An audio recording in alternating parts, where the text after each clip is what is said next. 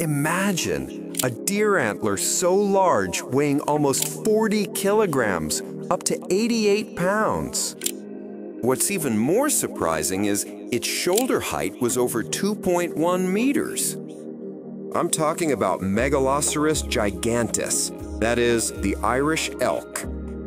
They ranged from Siberia to Ireland across northern Eurasia.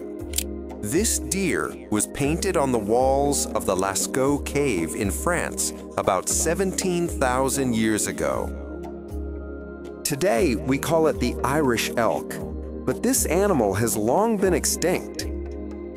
They were shrinking in size due to climate change, but they still couldn't adapt.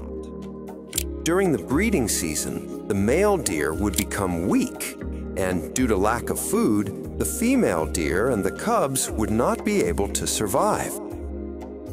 Finally, the light of the entire species is extinguished. This was the story of the Irish elk.